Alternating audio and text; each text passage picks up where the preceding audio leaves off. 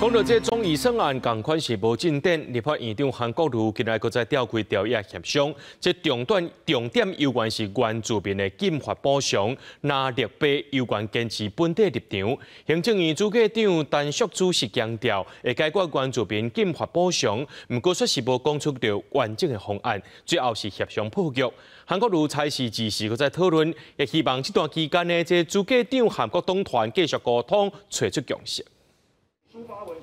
明年度中央政府总预算继续卡关，行政院长都用台二十案伫面册发文，以餐厅点菜，比如调解协商总预算，每下一句餐厅也会当决期将我赶出去，然后一切重新过来，引起外界的想感是暗示多个。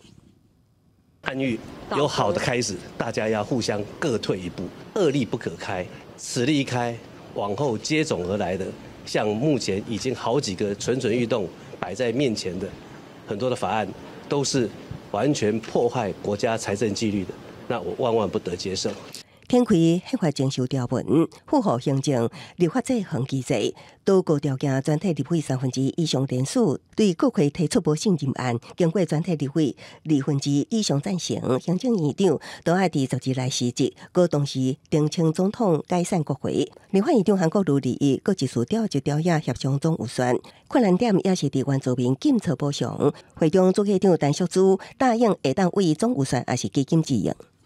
不管是从总预算来支应，还是由基金来支应，将来这个经费有不敷的部分，我们在一百一十五年度来协助，来呃来协助来补充。那了被党团干部发言，拢维持各自原本的立场。民进党各一处表示，法律上爱合宪合规，用二十六亿挡下三兆总预算，用五万原民的社会地主的权益来凌驾两千三百五十万国人的。总预算的需求，那我想今天就是主要是卓院长他整体的态度跟政策。原住民不是来这里求得各位的